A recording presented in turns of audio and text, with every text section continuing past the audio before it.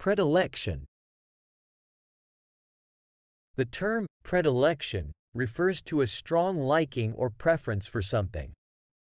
It indicates a tendency or inclination towards a particular person, thing, or activity.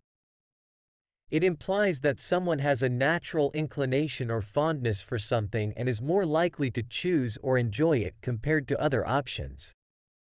Here are a few examples to illustrate the usage of predilection. 1. She has a predilection for spicy food. This means that the person has a strong preference for spicy cuisine and enjoys it more than other types of food. 2. My grandfather has a predilection for classical music. This suggests that the person has a natural inclination towards classical music and is more likely to listen to it and appreciate it compared to other genres. 3. He has a predilection for adventure sports. This indicates that the individual has a strong liking for adventurous activities like skydiving, bungee jumping, or rock climbing. They are more likely to choose these activities over more conventional or less thrilling options.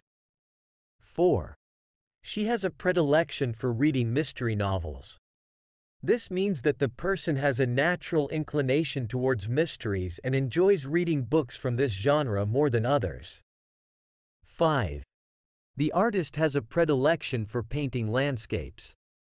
This suggests that the artist has a strong preference for painting natural scenery such as mountains, rivers, or forests. They are more likely to create artwork depicting landscapes rather than other subjects. In all these examples, predilection indicates a strong liking or preference towards a specific thing, activity, or category. It highlights an individual's natural inclination or fondness for something, leading them to choose or enjoy it more often.